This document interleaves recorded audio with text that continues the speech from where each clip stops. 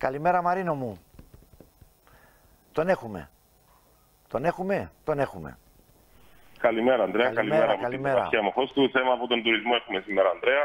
Οι δήμαρχοι Παραλιμνίου και Αγίας Νάπας απέστειλαν κοινή επιστολή στην οποία ζητούν την άμεση προώθηση των διαδικασιών για την δημιουργία Υφυπουργείου Τουρισμού. Στην επιστολή τους αναφέρουν ότι οι προσπάθειες και η προεργασία της κυβέρνησης και ιδιαίτερα του σημερινού Υπουργού Εσωτερικών Κωνσταντίνου Πετρίδη για την δημιουργία του Υφυπουργείου Τουρισμού δεν πρέπει, όπως αναφέρουν, να πάνε χαμένες. Σημειώνουν ότι η τουριστική βιομηχανία απαιτεί την δημιουργία του Υφυπουργείου, όπως και την εφαρμογή της μελέτης για τη στρατηγική του τουρισμού, που ολοκληρώθηκε πριν από μερικούς μήνες.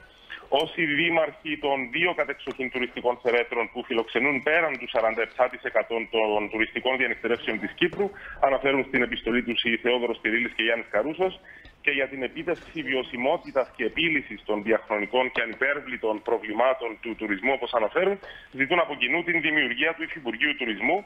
Όλα αυτά τώρα, Ανδρέα, με αφορμή την επιστολή που απέστειλε ο πρόεδρος του Διοικητικού Συμβουλίου του ΚΟΤ, Άγγελος Λοίζου, προς την Βουλή, σχετικά με το ίδιο θέμα και έχει πολύ ενδιαφέρον να αναφέρουμε και την επιστολή του πρόεδρου του ΚΟΤ.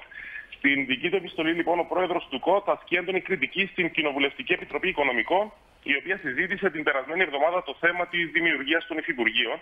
Με τη σειρά του, λοιπόν, ο κύριος Λοίζου κάνει λόγο για απαράδεκτη, όπως αναφέρει, προσπάθεια υπόσκαψης του κύρους και του έργου του ΚΟΤ την στιγμή που αναζητείται η κοινοβουλευτική πλειοψηφία για έγκριση της δημιουργίας υφυπουργείων, ενώ ο ίδιος αναφέρθηκε και σε έκδηλα απαξιωτική, επικριτική και κατάφορα άδικη, σύμφωνα με το περιεχόμενο της επιστολής, αντιμετώπιση του οργανισμού και του έργου του στην προσπάθεια ανάδειξης της αναγκαιότητας δημιουργίας υφυπουργείων, αν και διευκρινίζει ο κ. Λοίζου ότι ο οργανισμός συμφωνεί με την δημιουργία του Υφυπουργείου Τουρισμού αντίγραφο της επιστολής του Προέδρου του ΚΟΤΑ απεστάλλει και στα μέλη της Επιτροπής Τουρισμού, επειδή όπως ανέφερε ο ίδιος, τα, μέ, τα μέλη της Επιτροπής Τουρισμού είναι γνώστες των δεδομένων και της κατάστασης στον τουρισμό και δεν συνηθίζεται να ακούγονται απαξιωτικά σχόλια κατά του οργανισμού, όπως έγινε την περασμένη εβδομάδα στη συνεδρία της Επιτροπής Οικονομικών.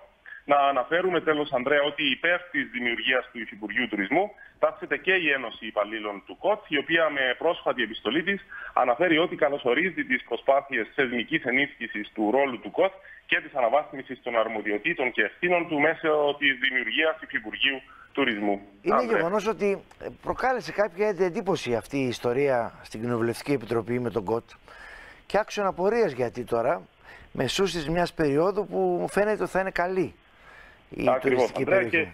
Και, Ναι. και βλέπουμε και τις αντιδράσεις από τον πρόεδρο του ΚΟΤ αλλά και από τους δύο δημάρχους της επαρχίας εδώ της Αμοχώστης, οι οποίοι Ναι. ε, αντέδρασαν ανάμεσα. Μάλιστα. Πάμε σε άλλα θέματα. Αυτά, Ανδρέα. Αυτά. τα θέματα λοιπόν, μας. σε ευχαριστώ πάρα πολύ. Καλή, καλή συνέχεια και ραντεβού αύριο το πρωί.